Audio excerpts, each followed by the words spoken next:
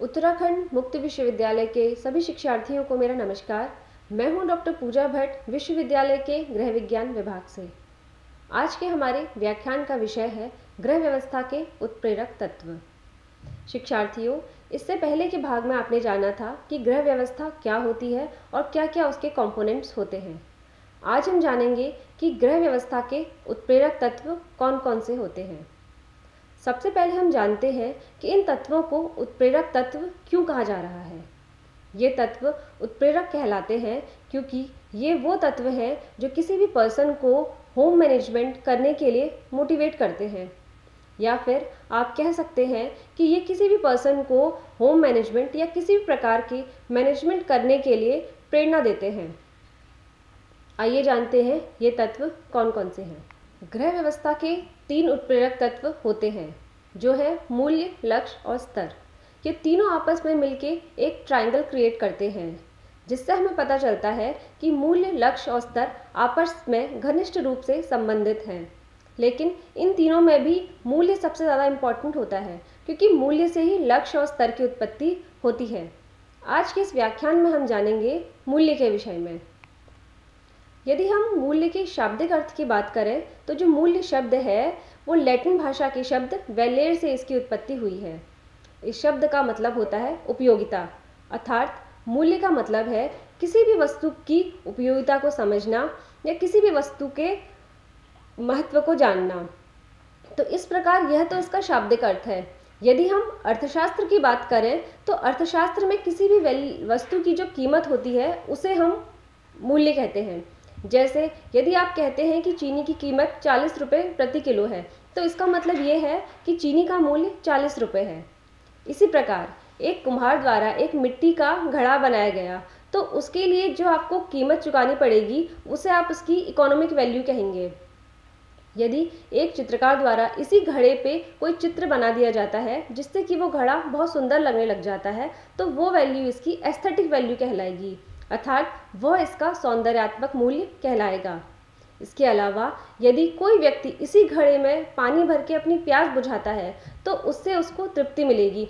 तो उसे हम कहेंगे उसकी सेटिस्फाइंग वैल्यू तो इस प्रकार आप समझिए कि जो मूल्य शब्द है, वो हर पर्सन के लिए, हर परिस्थिति में अलग अलग हो सकता है। लेकिन जो इसकी इम्पोर्टेंस है, वो सबके लिए इक्वल होती है। अर्थात मूल्य की जो अल्टीमेट एम है मूल्य का, वो है संतुष्टि प्रदान करने वाला। तो इसलिए मूल्य वो चीज़ है जो किसी भी पर्सन को सेटिस्फाई करती है किसी भी चीज़ के लिए। मूल्य को आप ये भी समझ सकते हैं कि ये किसी भी व्यक्ति के जीवन में बहुत ही इम्पोर्टेंट होती है।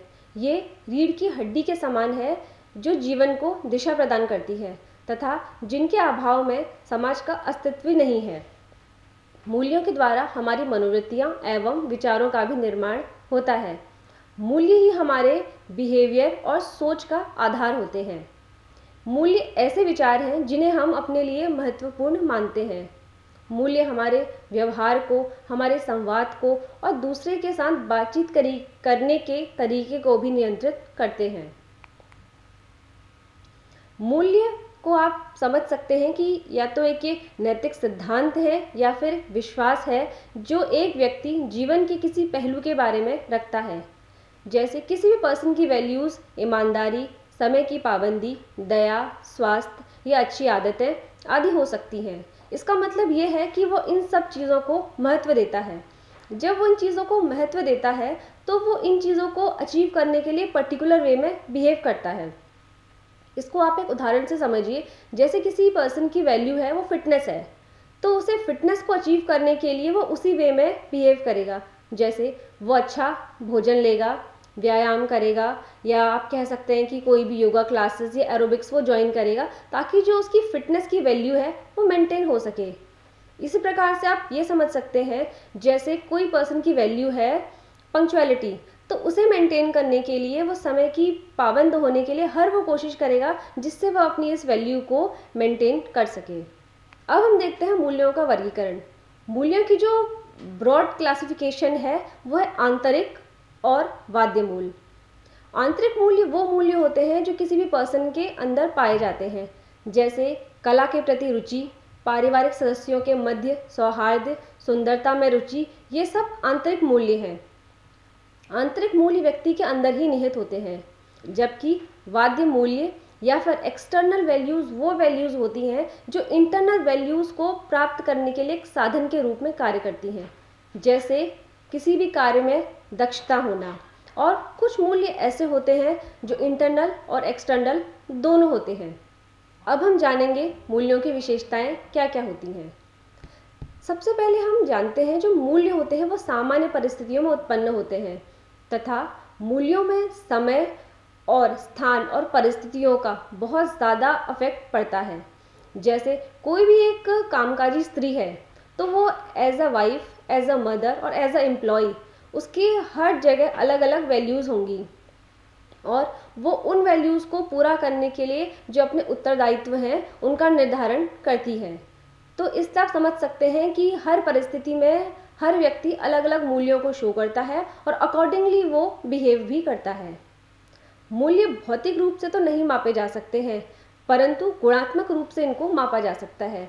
जैसे कि आप कह सकते हैं, कोई भी चीज़ अच्छी, बुरी, बहुत अच्छी या बेकार हो सकती है। और ऐसा भी नहीं है कि मूल्य हमेशा पॉजिटिव ही होते हैं, क्योंकि आप एक सोसाइटी में रहते हैं जहाँ बहुत सारे लोग होते हैं। तो उनमें आपस में सामाजिक रूप से या फिर वैचारिक मतभेद हो सकते हैं। तो इस तरीके से मूल्य धनात्मक और ऋणात्मक दोनों हो सकते हैं। तो और ये कहना तार्किक होगा कि कोई भी पर्सन फ्री है किसी भी वैल्यूज़ को अडॉप्ट करने के लिए। ये पर्सन बिल्कुल स्वतंत्र है, चाहे वो पॉजिटिव वैल्यूज़ को अपनाए, चाहे वो नेगेटिव वैल्यूज़ को अपनाए। जैसे कि एम्पैथी है। एम्पैथी एक पॉजिटिव वैल्यू है, लेकिन किसी किसी व्यक्ति में एम्पैथी की फीलिंग नहीं भी हो सकती है। तो क्योंकि वो चीज़ उसके लिए इंपॉर्टेंट नहीं है तो वो उस वैल्यू को अडॉप्ट नहीं करेगा। या फिर आप ऐसा समझ सकते हैं कि कोई भी पर्सन सोसाइटी में किस प्रकार से बिहेव कर रहा है, वो उसके लिए कोई भी वैल्यू अडॉप्ट कर सकता है। वो पॉजिटिव या फिर नेगेटिव दोनों हो सकती है। मूल्य हमारी संस्कृति का प्रतिबिंब है। मूल्यों से ही किसी भी परिवार के विषय में इतिहास समय या काल आदि को पहचाना जा सकता है। इसे हम इस प्रकार समझ सकते हैं, जैसे कि हम उत्तराखंड के निवासी हैं तो हमारी जो संस्कृति है, हमारा कल्चर है, वो हमारे कॉस्ट्यूम में, वो हमारी आर्ट में टिपिक्ट होता है। तो इस तरीके से जो हमारी वैल्यूज़ है, वो हमारी संस्कृति को भी बताती हैं, हमारी फैमिली हिस्ट्री को बताती हैं और टाइम पीरियड को भी वो शो करती हैं। मूल्य सामाजिक भी होते हैं और पारिवारिक भी होते हैं। लेकिन इसके अलावा मूल्य व्यक्तिगत भी होते हैं। सामाजिक मूल्य मतलब आपने सोसाइटी में किस प्रकार से बिहेव करना है? पारिवारिक मूल्य कि परिवार में सौहार्द बनाए रखने के लिए आप किस प्रकार से बिहेव कर रहे हैं, वो आपकी पारिवारिक वैल्यू है। लेकिन कुछ वैल्यूज़ ऐसी होती हैं जो किसी भी व्यक्ति की पर्सनल होती हैं। जैसे किसी भी, जैसे मैंने आपको बताया कि फिटनेस पर्सनल वैल्यू है या फिर पंक्चुअलिटी पर्सनल वैल्यू है तो ये सब पर्सन की व्यक्तिगत वैल्यूज़ होती हैं। वैल्यूज़ होती हैं जो हमारे व्यक्तित्व के निर्माण में योगदान प्रदान करती हैं। मूल्य किसी भी कार्य को करने की प्रेरणा देते हैं, साथ ही साथ ये हमारे पथ प्रदर्शक होते हैं और हमारे लिए एक ये निर्देशक का कार्य भी करते हैं। मूल्य स्थायी और स्थायी दोनों प्रकार के हो सकते हैं। स्थायी मूल्यों में परिवर्तन नहीं होता है और यदि कोई परिवर्तन होता भी है तो वो स्पष्ट रूप से दिखाई देता है। जैसे कि धन, संपत्ति और प्रतिष्ठा में कोई परिवर्तन दिखाई देता है। और अस्थाई जो वैल्यूज़ होती हैं, उनमें जो परिवर्तन होता है, बहुत ही धीमी गति से होता है और वो स्पष्ट रूप से दिखाई नहीं पड़ता है। जैसे कि खान पान की आदतें, घर खर्च का आपका पैटर्न क्या है, इन सब आदतों में जो परिवर्तन है, वो इसका एग्ज़ाम्पल है। और ओवरऑल जो इसकी विशेषता है, मूल्य की, वो ये है कि इनका जो उद्देश्य है, वो संतुष्टि प्रदान करना होता है। और मूल्य स्वयं विकसित किए जा सकते हैं, क्योंकि जैसे मैंने आपको बताया कि कोई भी पर्सन फ्री है किसी प्रकार की वैल्यूज़ को अडॉप्ट करने के लिए तो मूल्य जो है, आप खुद विकसित करते हैं। चाहे वो आप किसी को देख के करें, या कहीं से सीख के करें, या फिर आप किसी को इमिटेट करके कुछ वैल्यूज़ को आप सीखें। मूल्यों में तीव्रता भी पाई जाती है, जो कि हर व्यक्ति के लिए अलग अलग होती है। इसका मतलब ये है कि मूल्यों में इंटेंसिटी होती है। जैसे माना किसी की जो वैल्यू है, वो लव या अफेक्शन है तो जो उसकी इंटेंसिटी है, वो कम, ज़्यादा हो सकती है। हर पर्सन के लिए अलग, हर पर्सन के लिए ये इंटेंसिटी अलग अलग होगी। अब हम बात करते हैं कि मूल्यों के स्रोत क्या हैं। आप मूल्य कहाँ से लेते हैं? सबसे पहला है परिवार, क्योंकि परिवार ही किसी भी बच्चे की प्राथमिक पाठशाला कही जा सकती है। तो सबसे पहले कोई भी बच्चा या कोई भी व्यक्ति अपने परिवार से ही वैल्यूज़ को ग्रहण करता है। जैसे ही बच्चा थोड़ा बड़ा होता है तो वो बाहर निकलता है। बाहर निकल के उसके मित्र बनते हैं तो वो मित्रों से वैल्यूज़ लेता है।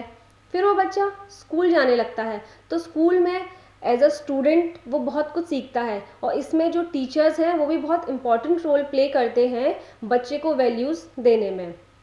इसके अलावा, जब बच्चा एक माइक्रो इन्वायरमेंट से फिर एक मैक्रो इन्वायरमेंट यानी समुदाय या फिर समाज में आता है तो वहाँ से भी वो बहुत सारे मूल्यों को लेता है। इसके अलावा मीडिया भी मूल्य ग्रहण करने का एक स्रोत है। मीडिया वो प्रिंट मीडिया इलेक्ट्रॉनिक मीडिया किसी प्रकार का मीडिया हो सकता है, जहाँ से कोई भी व्यक्ति मूल्यों को ग्रहण करता है।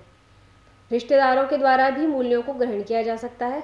इसके अलावा बहुत सारे ऑर्गेनाइजेशंस हैं, जिनके द्वारा व्यक्ति किसी भी मूल्यों को ग्रहण करता है या फिर सीखता है। इसके अलावा धर्म, इतिहास और पुस्तकें अन्य स्रोत हैं, जहाँ से कोई भी व्यक्ति मूल्यों को सीखता है। अब हम बात करेंगे मूल्य अधिग्रहण। तो इसके जो स्टेप्स हैं, वो निम्न हैं। सबसे पहले है विकल्पों का चयन। मूल्य अधिग्रहण में सबसे पहले आता है, आपने विकल्पों का चयन करना है। विकल्पों का चयन करते टाइम आपने सबसे इम्पोर्टेंट देखना है कि उसका टर्म क्या है। तो आपने दीर्घकालीन प्रासंगिकता को प्राथमिकता देनी है। तो कोई भी जो वैल्यू होती है, जो दीर्घकालीन होगी, वो ज़्यादा अच्छी होती है राधर देन अल्पकालिक। क्योंकि अल्प अवधि के लिए जो वैल्यूज़ होती हैं या अल्प अवधि वाले वैल्यूज़ को आप सेलेक्ट करते हैं तो वो आपको संतुष्टि प्रदान करने में उतने ज़्यादा सफल नहीं होते हैं। दूसरा है व्यक्तिगत स्वतंत्रता। मूल्यों के चयन का सर्वाधिक प्रभाव उस व्यक्ति पर ही पड़ता है जो मूल्य को सेलेक्ट कर रहा है। तो इसलिए जब भी किसी व्यक्ति ने मूल्य को सेलेक्ट करना है तो उसे बिना किसी के दबाव में आए बिना ही मूल्यों को सेलेक्ट करना है। तो आपने किसी से भी इन्फ्लुएंस हुए बिना वैल्यूज़ को सेलेक्ट करना है। तो आप स्वतंत्र होकर मूल्यों का चयन करना अति आवश्यक है। अगला है, मूल्यों का समर्थन। स्वयं द्वारा सोच समझकर चुने गए मूल्यों का समर्थन करना चाहिए किसी भी व्यक्ति को। इससे आपका खुद पर विश्वास बना रहेगा और जो आपका जो मूल्य है, उसको भी समर्थन मिलेगा। अगला है, मूल्यों का निष्पादन। मूल्यों का चयन करना ही मात्र सफलता की गारंटी नहीं है। आपने मूल्यों का क्रियान्वयन भी करना चाहिए जिससे इस, इसका मतलब ये है कि जब कोई भी पर्सन उन वैल्यूज़ को अडॉप्ट कर ले रहा है तो उसके बिहेवियर में उसके काम में भी वो मूल्य दिखने चाहिए। तो ये था मूल्यों के विषय में। अगले व्याख्यान में हम जानेंगे लक्ष्य के विषय में। धन्यवाद।